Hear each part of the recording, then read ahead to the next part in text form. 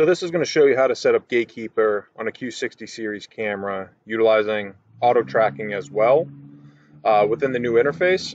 So number one, the first thing you want to do is set up two individual preset positions. Preset one is going to be your home position. So this is going to be your stationary position, which is the camera is always going to return to. Then you're going to set up another preset.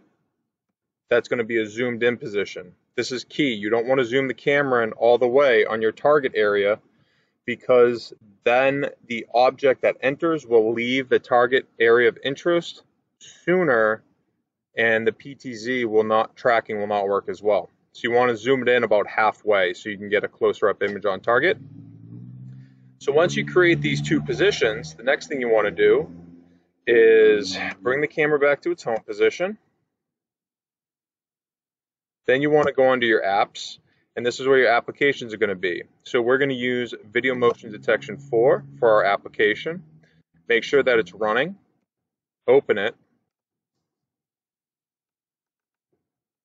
And you're going to create your motion zone. So my motion zone is going to be this area of interest. So anytime an object enters this area, the camera is going to zoom in to preset 2, and it's going to start tracking. So we created our motion zone and you can go through and do all your object filters. That's just not the point of this video today.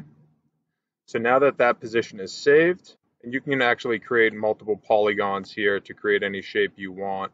Um, we're just going to leave it like this. So now we go back to system.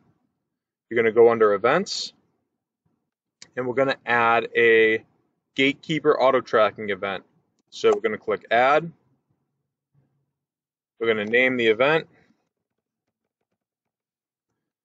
The trigger is going to be an application. It's going to be VMD4 profile 1. Then the schedule is going to be always. You can set a time schedule if you wanted to. Then for the type, we're going to do PTZ control. Control is going to be auto tracking. And then the preset position is going to be based upon preset 2.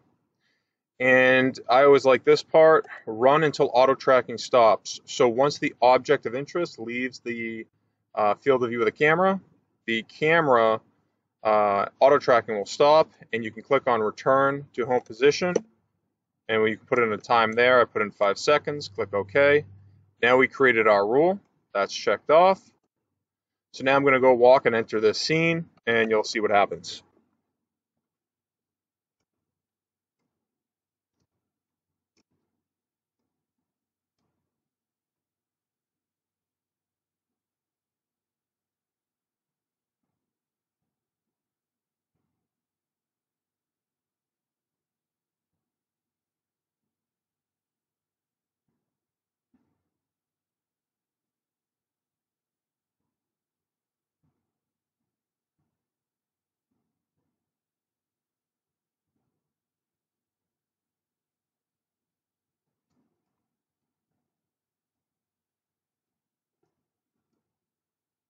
So now the camera will return to its home position now that I've left the field of view of the camera.